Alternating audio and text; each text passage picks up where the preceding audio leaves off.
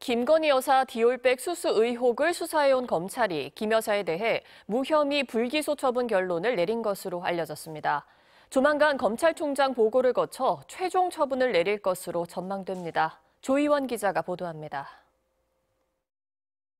김건희 여사의 디올백 수수 의혹을 수사해온 서울중앙지검 수사팀이 김 여사에 대해 무혐의 결론을 내린 것으로 파악됐습니다.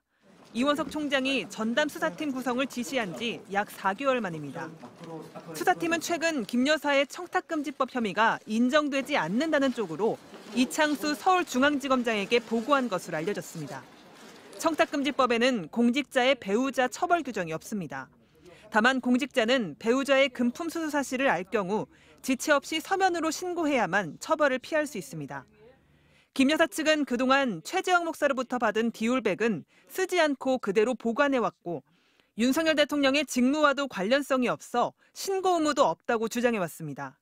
또 최재형 목사가 김 여사에게 청탁했다고 하는 김창준 전 미국 연방 하원 의원의 국립묘지 안장권 등은 청탁이 아닌 단순 민원 수준이거나 실제로 김 여사에게 청탁이 전달되지 않았다는 입장입니다.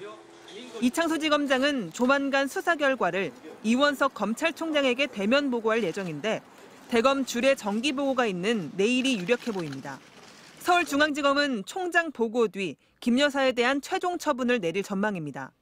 다만 이원석 총장이 수사 결과의 공정성을 담보하기 위해 외부 의견을 듣는 검찰 수사심의위원회를 직권으로 소집한다면 최종 결론이 나오기까지 다소 시일이 걸릴 수 있습니다.